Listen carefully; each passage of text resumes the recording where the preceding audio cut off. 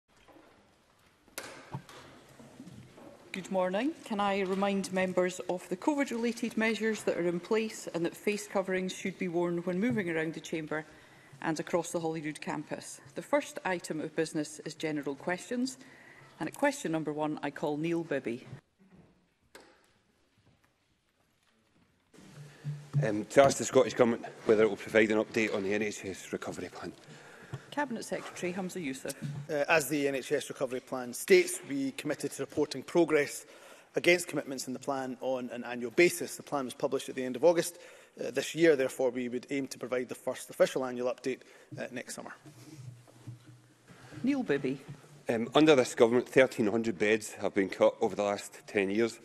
That's one in six beds at the uh, Inverclyde Royal Hospital, one in five beds at the RH in Paisley. Before the winter crisis struck, the Royal College of Emergency Medicine said Scotland needed 1,000 extra beds. Is it this government's intention to reverse the cuts to beds numbers? If so, by how much and when? Cabinet Secretary. I can say that uh, this government has uh, an impeccable record in terms of uh, ensuring that NHS is well resourced. Uh, of course, uh, we will hear more, no doubt about that, in uh, the Finance Secretary's budget uh, later this afternoon. Uh, we have record staffing under this uh, uh, government, but also the highest paid staff anywhere uh, in the UK. Uh, what I would say about beds, of course, is that pre-COVID, it was very much this government's determination, and continues to be, that patients and people are treated close to their home in the community as best as they possibly can. And that would have uh, meant a reduction in, in, in beds uh, within our hospitals. What I would say to, to Neil Bibby uh, in closing uh, is that uh, we are desperately trying to work with local authorities, health boards, uh, HSCPs e to remove, uh, to, to, to, to move people who are in our acute sites who can be clinically safely discharged into our community and reduce that number of delayed discharges. If we do that, that frees up hospital beds. Uh, and I spoke to Jane Grant, the Chief Executive of Greater Glasgow and Clyde this morning, uh, and she offered, uh, if, if, if any member, I'm sure including Neil Bibby, would like to speak to her about any of the pressures in Glasgow's uh, and, uh, uh, and Greater Glasgow's uh, acute sites, including the RAH, then she would be happy to speak to any member at all. Stephanie Callaghan. Thank you, President Officer. To ask the Scottish Government for an update on providing general practice with increasing support from a range of healthcare professionals, including pharmacists and physiotherapists. Cabinet Secretary. That's an incredibly important point. We know uh, just how vital uh, the contribution of our multidisciplinary teams uh, are, uh, particularly to, to again uh, that point about keeping patients within our community and keeping the public within our community as opposed to having to go uh, into hospital and, and, and acute uh, sites uh, in addition to the 155 million provided to health and social care partnerships to recruit multidisciplinary teams this year, our winter action plan has also made additional funding available to assist the recruitment of extra pharmacists to help with patients, uh, repeat prescriptions and medicine reviews, uh, as well as physiotherapists to treat musculoskeletal issues in the community, uh, thus further accelerating our aim of having board-delivered pharmacy and nursing support in all 925 of Scotland's general practices. Question number 2 John Mason. Hey, thank you.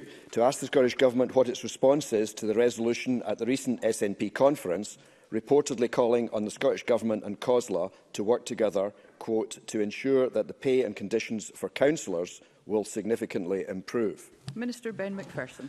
The Scottish Government is committed to fair pay and conditions for our councillors, which is why I reiterate that I am open to discussing with COSLA about how we might support them to further consider this issue, uh, including considering uh, making improvements which will help increase the diversity of councillors in Scotland. For context, we introduced a new mechanism in 2017 that ensures councillors' pay is increased annually in line with the percentage increase uh, in the median annual earnings of public sector workers in Scotland.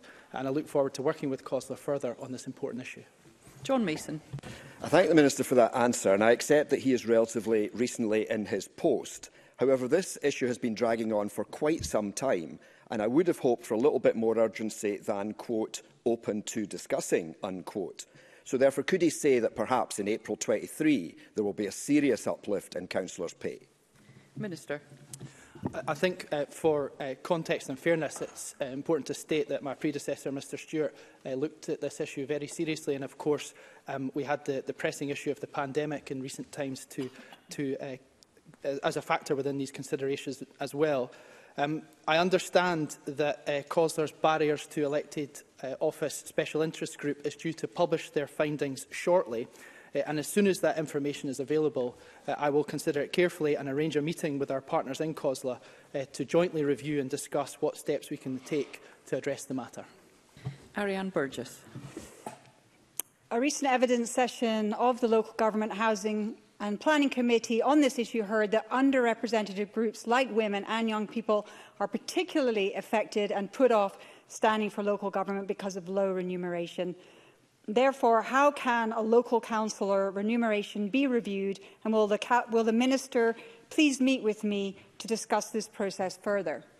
Minister. Um, it is absolutely vital that collectively we encourage a wider range of people to, to seek election, including more women and, and younger people, uh, so that councils can better reflect the society uh, that we live in. Uh, councillors' pay uh, is important, of course, uh, but is not the only barrier uh, to the lack of diversity among councillors in Scotland. Um, but as I've said, it is a, a, an important issue, it's a recognised issue, uh, and that is why I'm, I'm certainly open and enthusiastic about exploring this important matter further with COSLA, uh, who I know have, have, as I've said, been reviewing this issue as part of their Barriers to Elected Office Special Interest Group, and I look forward to engaging with them shortly. Question number three, Jenny Minto. Thank you, Presiding Officer. To ask the Scottish Government how it is ensuring that the views of Argyll and Butte's diverse communities are taken into account in the development of its policies. Cabinet Secretary Shona Robertson. Uh, thanks. It's critical that we involve communities in the development of our policies and so we regularly engage with partners including local government, community groups, third sector colleagues and young people through, for example, our Young Islanders network. The Scottish Government carries out all appropriate impact assessments when developing or updating policies, strategies or services, including equality impact assessments and island communities impact assessments, which is in line with the Island Scotland Act 2018? Jenny Minto. I thank the Cabinet Secretary for that answer. Argyll and Butte is a place of beauty and isolation, but also of many diverse communities which depend on local jobs and services. Infrastructure needs investment and there has been an acceleration in the price of housing, perhaps as a result of the pandemic. Without intervention, it may become more difficult for local people to stay in their own communities. How will NPF 4 reverse this and what advice does the Cabinet Secretary have to ensure my constituents' voices in Argyll and Butte are heard? Cabinet Secretary. Uh, well, uh, the, the member makes some uh, important points and of course we have committed to delivering 110,000 affordable homes by 2032, 10% of which will be in remote rural and island communities, and that's part of a 3.44 billion investment in this parliamentary term to deliver that and 30 million of, of that investment will support the continuation of the Rural and Island Housing Fund which has been described in a Scottish Land Commission report as game changers for community-led housing development. We're also investing £30 million of capital through the Islands programme And of course, the draft National Planning Framework 4 supports the repopulation of rural Scotland, including an updated approach to providing quality homes and embeds an infrastructure-first approach into development planning and encourage members to highlight to their constituents that the public consultation and engagement opportunities to help inform NPF 4 will run until the end of March next year. Question number four, Liam MacArthur. Thank you to ask the Scottish Government what progress is being made on the rollout of superfast broadband in Orkney. Cabinet Secretary Kate Forbes. Well, work is underway through the Reaching 100% North contract to bring subsea cables to Edie, Flotta, Hoy, Rousey, Sandy, Shappensea and Stronsay, with survey work now complete and build currently scheduled to begin next summer, weather conditions permitting. In the meantime, the Reaching 100% Scottish Broadband Voucher Scheme will ensure that anyone on Orkney can access superfast broadband, and we recently announced a three-month extension to that interim uh, voucher portion of the scheme, so that the closing date is now the 31st of March 2022, to ensure that everybody, particularly those in the north of Scotland and our islands, can have more time to take advantage of that scheme. Liam MacArthur. Can I thank the Cabinet Secretary for her response, but also her uh, willingness to meet with me, Orkney Islands Council and HIE over the summer to discuss how 100% broadband coverage might actually be achieved in the islands I represent. She'll recall from those discussions concerns that the proposed fibre rollout will leave many households and settlements in Orkney unconnected and that the voucher schemes risk being too piecemeal uh, to plug the gaps. So can I ask the Finance Secretary what progress has been made in identifying ways to allow local coordination of the resources needed to ensure every household in Orkney does indeed get access to the superfast broadband promised? Cabinet Secretary. Well, I thank the member for that question and also for his constructive engagement as part of two meetings that I've had this year with him and his uh, and officials from Orkney Islands Council um, and Highlands and Islands Enterprise. Uh, Presiding officer, probably going into the uh, the minute detail would take uh, longer than you would like, um, but now that we have the certainty of what the R100 North contract will deliver, we are keen to work strategically with Orkney uh, Isles uh, Council to maximise the, the, the, the reach of the voucher scheme and also work with, um, uh, for example, some of the uh, suppliers. We have around 70 suppliers currently registered to deliver superfast broadband services through uh, the scheme to ensure that we maximise the reach as far as we possibly can. And any specific issues that are raised, I'm happy to look at in more detail. Thank you. Question number... Sorry, can I take Jamie Halcrow-Johnston? Um, thank you, Presiding Officer. Can the Cabinet Secretary confirm that the numbers of premises that will be reached by 2026 under the Lot 1 contract have fallen by more than a third? And can she further confirm, as her government appears to be giving both dates, whether the target for delivery of Lot 1 has been delayed from the end of this year to the end of the 2026 calendar year, or actually to the end of the 2026-2027 financial year? Cabinet Secretary. This is a, a good opportunity to remind the member that, of course, uh, telecoms and broadband is a reserved matter reserved to the UK Government, but the Scottish Government has stepped in to uh, deliver the Reaching 100% program because of the failure to date. And as of the 2nd of December um, 2021, eh, superfast coverage in the Orkney Islands stands at 66%, up from 11% uh, eh, in 2014. In terms of the figures, in uh, the, the 384 million pound r 100 North contract is expected to deliver 59,276 connections in total, with build expected to be completed by 2026-2027.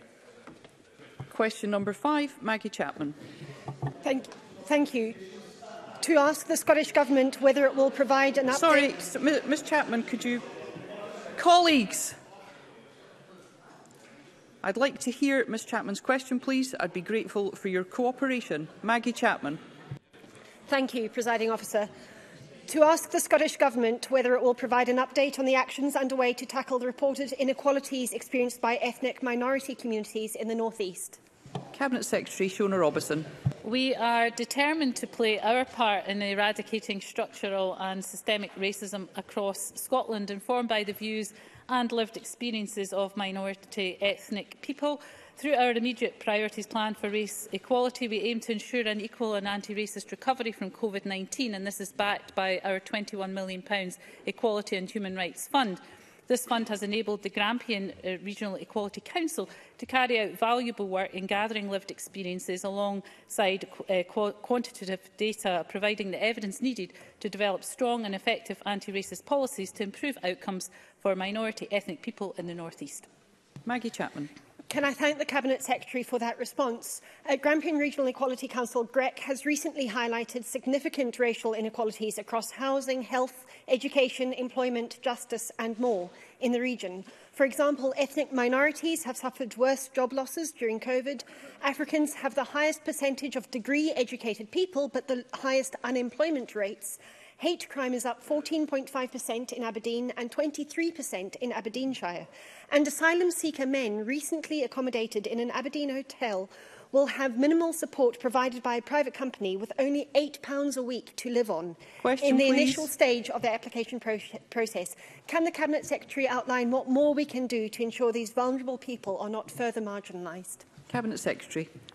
Um, so on the issue of asylum seekers and refugees, an important issue actually that Maggie Chapman raises, uh, I'm happy to write to her with more information about the work we're doing under no recourse to, to public funds and um, preventing destitution.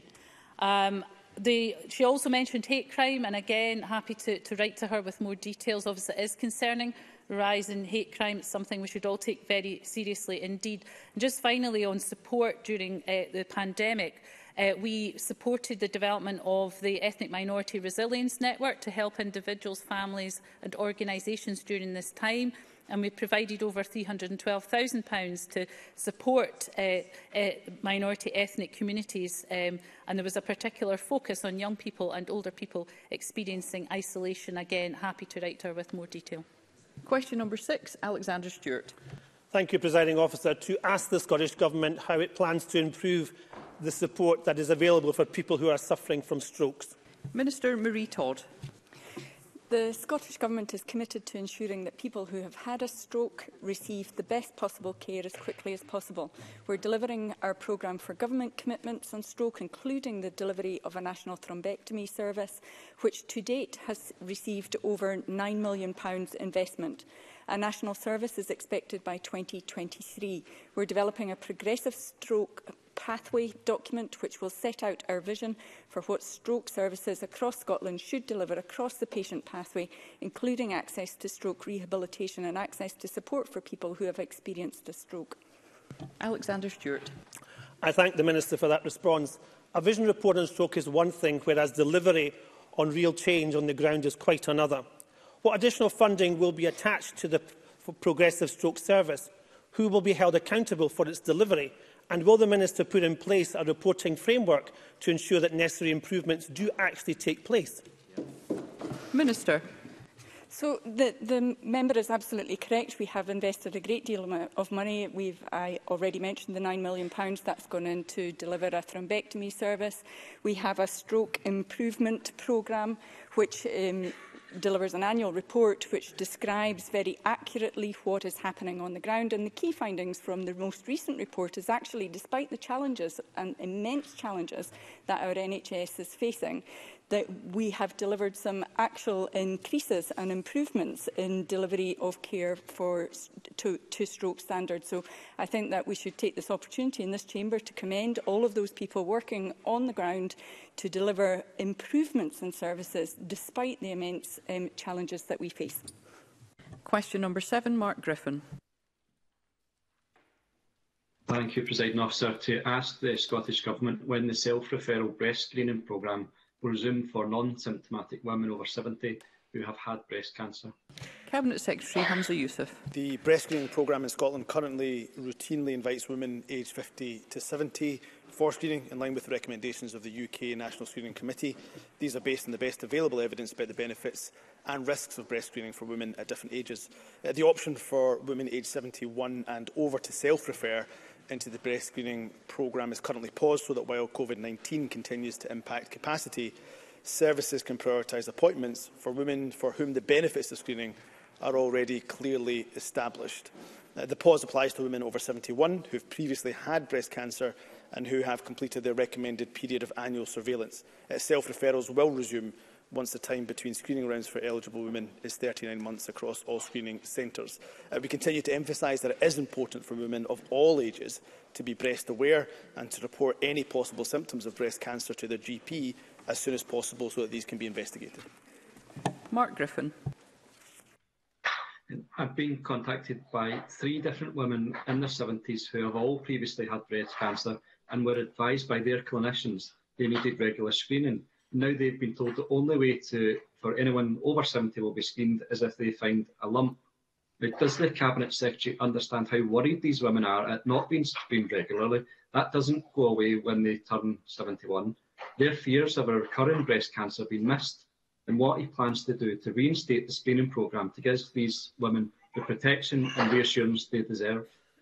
Cabinet Secretary. Uh, can I say to Mark Griffin, uh, if he wants to write to me with the details of his constituents, I think he has written to me with details of one constituent, uh, which I'm due to reply back to uh, shortly. What I would say is for any woman who is a breast cancer survivor, uh, she would have, of course, increased screenings uh, post-treatment. She would have an, uh, annual screenings and annual surveillance uh, for, for a period of five years uh, post-treatment. Uh, and uh, we would expect that, uh, of course, to continue regardless of whether they are under 70 or over 70. Uh, I would reiterate what I've said before. Uh, for any woman who is concerned about any of the symptoms, uh, they should go speak to their GP and the clinical pathways uh, should be available for them uh, in order to, for that, uh, those symptoms to be further investigated. But as I say, uh, if Mr Griffin wishes to write, with me, write to me with the further details of the constituents he references, then I'd happily look into those cases.